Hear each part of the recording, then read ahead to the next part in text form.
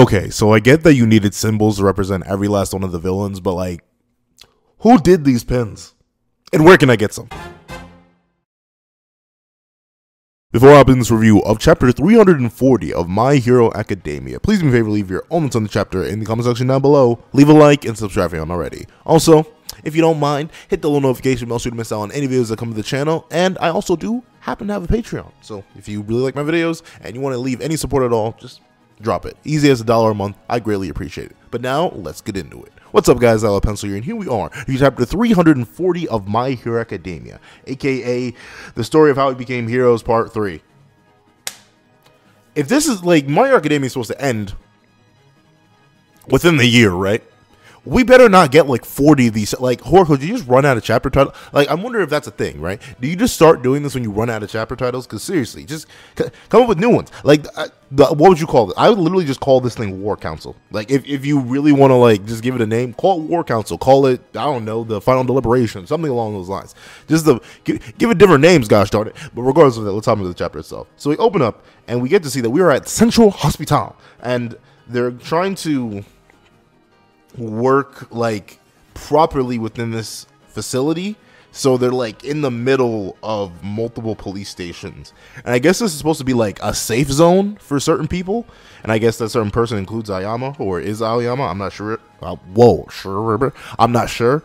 But I mean, I guess he's a vital asset.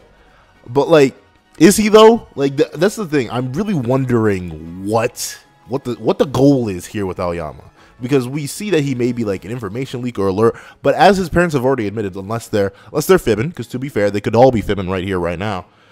But they have no way to contact for One. They just need to wait for him to contact them. And what's to say that he doesn't already know that Aoyama's been exposed?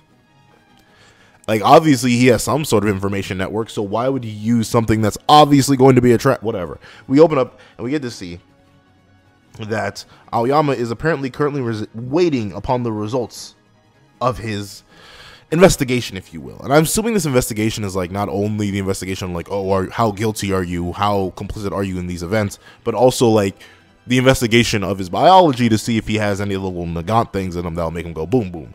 And apparently, thanks to Aoyama being here, he like he kind of restricted everybody because now whole new circumstances need to be taken. Like all force and interest that was initially on like the liberation front and taking care of all for one is now being split up because they had a rat, and now they aren't sure if that's the only rat, what the rat can do, what or the capabilities of the rat. The rat has messed everything up, and now apparently all the people here are like the trusted confidants, the trusted individuals that they can speak on, considering that they need they need to essentially come with a proper plan and they need people to execute the plan.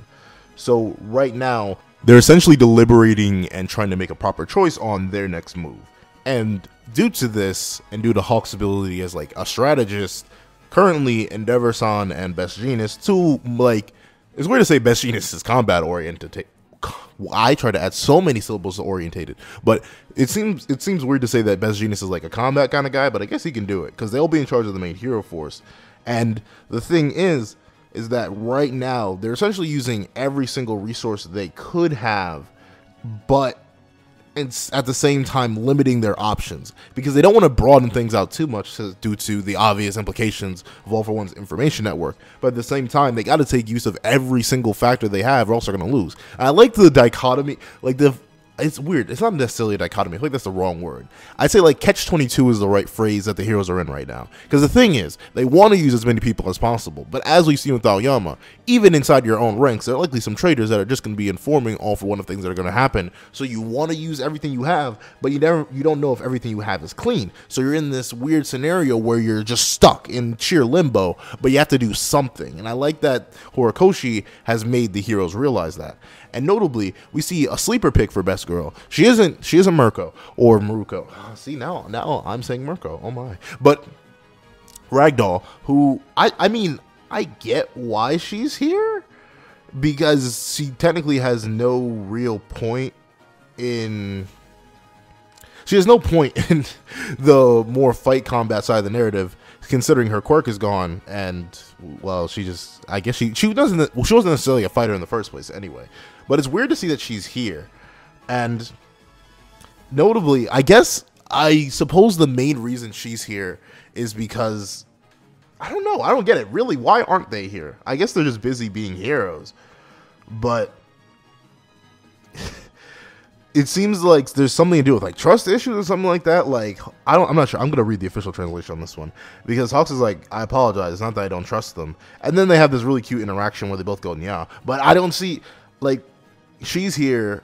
I'm assuming only because she's quirkless and she has no other value, and we need a represent. I don't know. This was this was really weird. I was wondering why she's here outside of we need a female character here.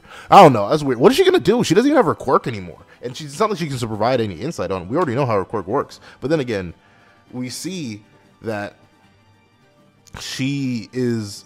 I guess she's here to like iron out necessary. De- I don't get that. I don't know. I'm sorry. I'm stressing really hard on this. But I'm trying to figure out why she's here because on the initial reading of the chapter, I didn't get it. On my second reading of the chapter, I still don't get it. And um, on my now third reading of the chapter, I, am just still as confused because she says quite obviously her search quirk is being used maliciously now, so she wants to be as big as a help as she can to hurt you, them. I guess she said she says you guys, but I'm assuming it's just like the entire hero force. What can you do? You don't have hands anymore, if you ever did, and you don't got a quirk. So what good is your if I, if anything, you being here is a liability. but then again, All Might's here too, so he's nothing but a liability too. But hey, it'd be like that when it be like that sometimes. So we get to see the rundown with All Might, and he's like, ah, so this is not really either the best or the second best, but we do got like a third best ish plan, and but it's something that's absolutely necessary. And he brings up a point that I like kind of gotten hyped for at the end of the last chapter review the idea of splitting up the all for one gang. Essentially, he admits that due, due to all the data they have, it seems like Shigaraki has surpassed All for One in terms of strength. But I'm assuming this is the All for One that All Might mentioned is the one in Kamino should be completely understanding of All for One's raw physical strength. And the thing is, is like I don't really I don't really get this like how are you going to physically separate them? And to be fair, as I mentioned at the end of the last chapter, if one just showed up at UA and one showed up at Shiketsu, you're just done. Like I, you, notably, they don't need to be together to be the mightiest. Like individually on their own, no one like Midoriya would definitely lose if he was facing either one of them in a two v one. But he's losing in a one v one right now too. I don't see Midoriya beating all for one the old body or even Shigaraki unless he like stores up a million bits of like whatever it's called I forget what it's called. The um, store up power where he gets to like do fake 100% stuff. I don't really see how this man is out here keeping up with either of them, considering how strong they were. Like, oh my, sure, you were very, very weak at the time, but hundred, you were still able to use 100%. The Midoriya isn't at that point yet, but obviously, still, it is important to get them separated. Because with the strength that Shigaraki displayed, on top of the strength that they already know All for One has, it's a it's a no sell if they're both together just running through the country. And it seems like they're just 100% confident in the fact that yeah, we there's like nothing we can do. If these guys both show up, we're done, son. And the one of the guys has a very good question of like why didn't why didn't they show together at the Stars and Stripe battle if it was so pivotal that the two be together? And all for one is apparently susceptible, or at least the main body is susceptible to New Order, or at least it was, considering he himself is wholly all for one. Meanwhile, the Shigaraki body is a weird combination of all for one and Shigaraki, which is actually a nice little detail. I didn't necessarily think of why the main body didn't show up. I just thought it was like didn't feel like showing up and it wasn't needed, and obviously it wasn't. But hey, I mean, that's a really good reason because to be fair, one of these guys is going through an identity crisis while the other one is solidly himself. And the thing is, Suki Su Naomasa, I'm just keep calling him Naomasa. Naomasa brings up the fact like, okay, I get that that's the strat, keeping them 10 kilometers apart. But one, they're super fast and they can cross the entire distance. Okay, Naomasa doesn't say that, but I say that. But two, they would know to stick together. But the thing is, right? I don't and is it just me, but does that not seem like the most optimal play for all for one to have at all? Like, you probably want to keep because to be fair, with the loss of twice, you can't have like a vanguard and then the final boss. You would only have the final boss. But I'd say you let the Shigaraki body, which is as they say stronger than the old body, roam wild. Put Dabi with the old body and just ruin the world. Like uh, like I said, a two side collapsing front where one appears at Shiketsu, one appears at UA, and just converges to meet each other. It's pretty much unstoppable because no no matter what you do, it's eventually going to be a 2v1 anyway, and no one can win the 1v1. So I don't I don't really see what the strat is here. But we get to see that the main issue or a big issue would be Dabi, who essentially is a wild card that can kind of show up anywhere. Because if he's there and uses that like same level of firepower that he used in the war, he could essentially just crisp up a whole ton of enforcements. And we get to see that yeah, why Ragdoll, why are you here? But we get to see that the main goal of the heroes now is to not just have their cake but they also want to eat it too because they're trying to separate every last major villain and isolate all of them in order to crush them one by one. Now, here's the thing, right? I do think you could hypothetically, like, if you were to throw a determined ev- ever. I can't speak English. If you were to throw a determined Endeavor and Todoroki at Dabi, I do believe they'd be able to take him down. If you were to throw like all every female character at Toga, I do believe you can take her down. If you were to throw all of 1A and 1B and 1C and general studies at either of the all for one bodies, they're all getting smacked. Like even with Midoriya there, I don't know. I at least I haven't been convinced by the narrative enough to believe that Midoriya can confidently, even with support, take down all for one even in his old body. Especially considering if UA shows up to help him at all, they're just all hostages. Like the, the, the teamwork is not the dream work in this one, and I know Bakugo is so confident in the idea that with my new scanner bomb technique, I'll be able to keep up with and defeat one for all or all for one user. But um, no, he won't. So I don't really see why. I don't really see a way that they win this. But we get to see that this plan seems a little bit too uh, like laid back or simple and kind of complicated if you really want to break down and separate every single one, especially if they're going to be probably doing the exact opposite. Even though I don't think that's viable. Like I'm not gonna lie, I don't think the I don't think the Rat Pack strategy is the most viable thing. I feel like you want to like infrastructure this where you split up your forces. But hey, maybe not. Maybe All for One is just trying to move in like an early Fire Emblem Maddening or Lunatic playthrough and just having his whole bag of units just in one area. But we get to see that the linchpin of this plan and the whole backup to it is using Aoyama. And notably, like, once again, the, the just the Aoyama slop off, bro. Like what what what is it? What is it that what, that this boy has done? Because like All Might is supporting him. Like he's still wavering, a young boy born quirkless and uses a tool for his life. And I get that, but like as Naomasa very clearly states, yeah, I do sympathize with him. But looking at it objectively, the fact that he betrayed society as a whole remains unchanged. And what makes you think he won't do it again? Like, that's my thing. Like, you can't forgive Aoyama. I, I wouldn't even like the. Th- I would straight just throw him in jail, no matter what possible utility he would have. I, if he was willing to betray y'all before y'all knew, he's definitely going to betray y'all after y'all knew, because essentially he's already guilty. But apparently, All Might still believes in young Aoyama, and I just personally, personally, Aoyama hasn't proven himself still to this point to have enough clout with all these different characters to suddenly be trusted. However, I will give all my credit. He trusts Aizawa. And to be fair, I trust Aizawa, even if Aizawa is missing an eye. I kind of forgot, like, to be fair, the war arc ended. I think it's almost going on a year now, because I'm trying to think. I started reviewing MHA around chapter 2 291 i'm pretty sure so the war arc may be approaching like year a year of being finished with serialization. Whoa, a year being finished with serialization at this point. So I for, kind of forgot his eye got taken out. But it's cool to see him with the eye patch.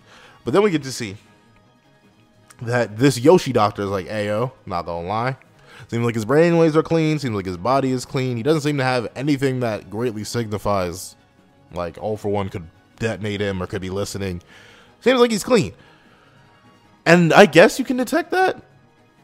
Let's go with that. Let's just, I'm not even going to complain about that. Let's just go with that. And it seems like what Aizawa notes that he, all for one essentially took different strategy routes, right? Like with Lady Nagant, he took the route of like actual physical insurance because she was an older woman who was purely capable of making her own decisions, and thusly, if he just gave her a quirk and let her roam free, then she would definitely just become a liability. Because if she was convinced or felt like turning her quirk against all for one, she could be a liable threat to him. You know, a sniper shot to the head, even if he can regenerate, it's not, it's no fun for anybody involved. However, at the same time, it seems like he was a little bit lazier with Aoyama. Like instead of leaving any like actual physical security with Aoyama inside his body with his quirk, according to Aizawa, it seems like all Aoyama had was like, you know, fear and trauma. That's the that's the only thing that uh he was being relied on for Aoyama to essentially be an obedient little boy. And I don't know. That that one is shockingly short sighted for all for one. Like I, I felt like this dude who has contingencies on top of his contingencies on top of his contingencies wouldn't rely on fear, especially considering at least from the time that he would have planted the quirk in Aoyama, he should have had way more resources than the time he planted the quirk in Lady Nagant. Like he had the doctor. He has so many. He had essentially had so many more tools at hand. That's more shocking to me that he placed a detonation device or quirk or whatever within Lady Nagant and not Aoyama, because I feel like the trauma could be worn off or something like that, or at least it, it just doesn't didn't really make sense to me that All for One would just let Aoyama safe. And I don't think, not not that I don't believe Aizawa here, but I feel like there's a little bit more to this narrative that we aren't just getting a glimpse of just yet. I feel like there is something with Aoyama because it does. It's just not at this point. It doesn't match the characterization of All for One to not leave a little bit of insurance, a little down payment within Aoyama to make sure he doesn't betray. But we get to see Aizawa ask Aoyama a very important question. Are you afraid? And Aoyama stays silent and it seems like Aizawa is the one who has to like start to rip questions or rip statements out of Aoyama because he straight up says like, "Yo, not gonna lie, you just happen to be the luckiest human being on this planet because for some reason that the reader of this manga chapter and the current reviewer cannot understand, your friend stood up for you. So what are you afraid of? No, for one."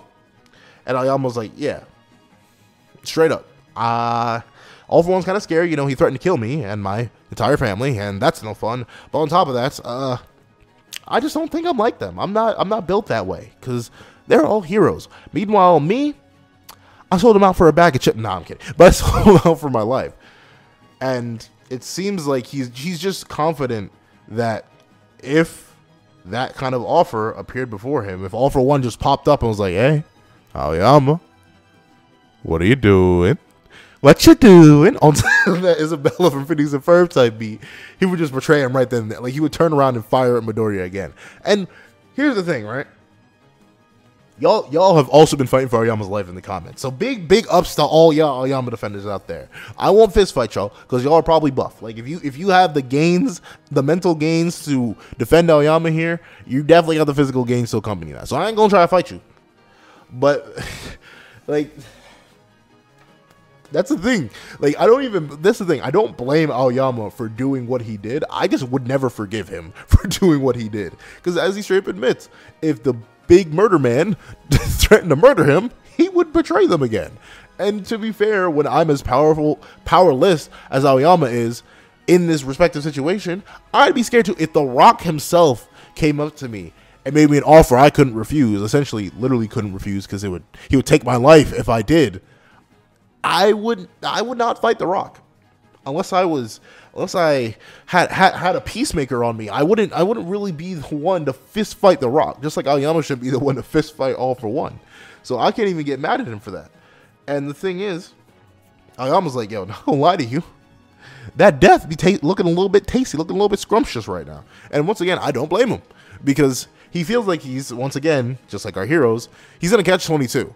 Because if he tries to reconcile, he puts his friends and himself in danger before All for One. Because All for One can figure out he slipped and betrayed, and next thing you know, who knows? Aoyama's parents are dead, he's dead, so on and so forth. And on top of that, if he doesn't do what they say, he's just gonna be locked up in prison forever, and he'd rather just go and die.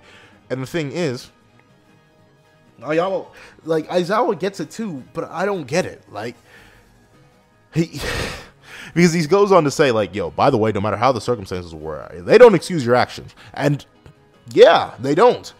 But we get. Uh, I'm glad that I'm glad that he at least tells Aoyama the truth. He's like, "Yo, I'm not guaranteeing that you're going to remain in UA, and he shouldn't. He should remain in jail even after he helps them." But the reason that Aoyama, the reason that Aizawa is here essentially is that he's going to be real with Aizawa. He's going to be. I keep getting their names switched up because they're both A's and then they're both double A's. Now I think about it, they start with A and end with A. But the reason Aizawa is here is to give it to Aoyama straight. Like, yo, not gonna lie, your friends are nice to you, but I'm gonna tear away the fear and I'm gonna be real with you. You have to fight. That's the only option you have left. And I'm not gonna lie. Tatakae, Dr. K, Tatakae. Like, all my Attack on Titan fans out there, when I heard, when I just saw a fight, I was like, Shinso Sasage. Like I don't, I don't know. That one, that one caught me off guard. But then we get to see, you know, Yama is like, yeah, I get it. I know I need to fight. I need to become a pawn, and I'm glad that Aizawa's just being real. I'm like, yes, you are a pawn because like either we put you in jail forever and you're useless, or you become a pawn to help us. But hey, whatever. Yeah, I'm not gonna let you just give up and wallow away.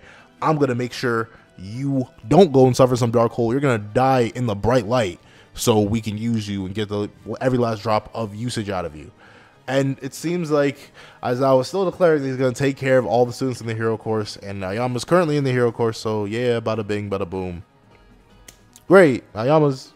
he's not redeemed. I doubt. I hope he doesn't get redeemed. Actually, no, fine.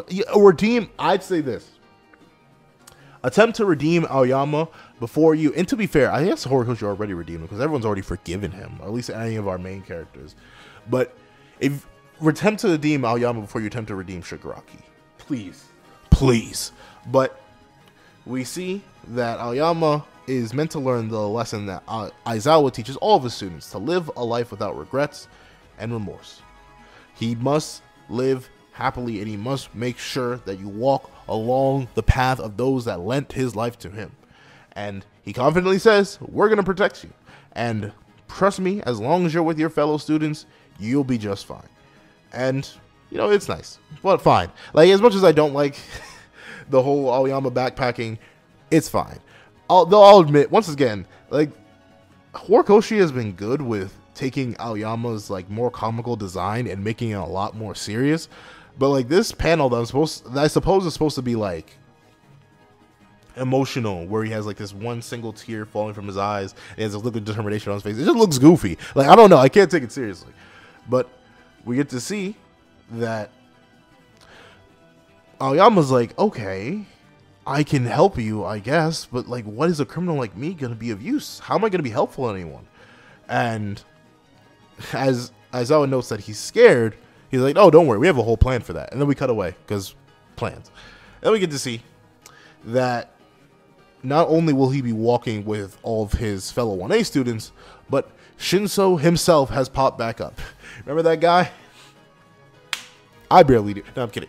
But hey, that's the end of the chapter. And you know, it was a it was a this was a weird chapter though. I'm not gonna lie. Because like I don't get why Ragdoll was there. I don't get the plan that they have. I feel like they're just I feel like everyone's underestimating themselves in this chapter or overestimating some of their stuff. Like I don't get why All for One didn't leave an insurance policy with Aoyama, especially when he had more resources too back in the day. I don't get why they suddenly think that if they separate everybody, especially the two main All for Ones, that they're somehow going to win, even though their main MC, their main fighting force against those All for Ones is still likely going to lose to either of them. I don't get why Ragdoll's there. I don't get why Shinso just pops up right at the very no, but that's fine. Like the chapter is just weird, so I'm gonna give it a seven out of ten. It's not like it's bad or anything. It's just that it feels like this chapter is saying stuff, but like doesn't. Ha- it's weird to say. What what's the word I'm looking? That's the not the word. What's the words I'm looking for?